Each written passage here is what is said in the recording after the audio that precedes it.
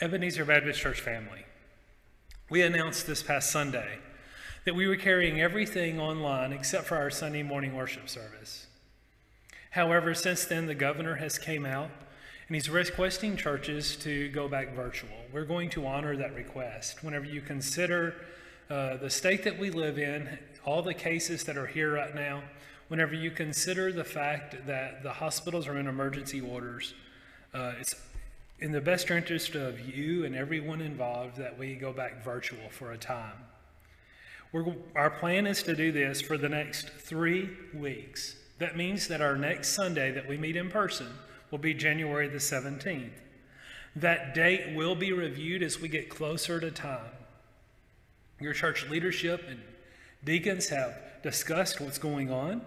Uh, the deacons met last night, and we feel that this is in the best interest of the church. As we move forward, we need your help. We still must continue to be the church. This church is so much more than the building, it's you. That's what church is. We've reached out through all of this. We've loved on each other.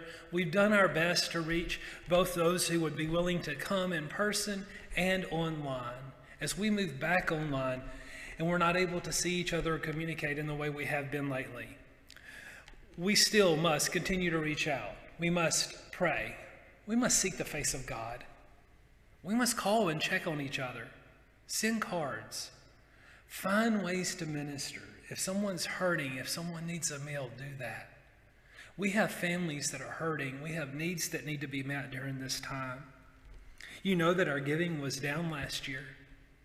We've cut the budget. That being said, as we get ready to go into next year, we must we need you to continue to give. You may give by three ways. You may give online by going to the online tab on the church website at ebenezergreenbrier.com backslash online dash giving. The church uses PayPal for online giving. If you click on that link, it will give you the instructions to be able to do that.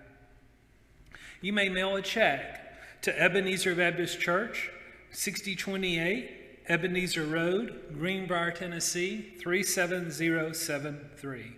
Or you may drop a check off at the church office.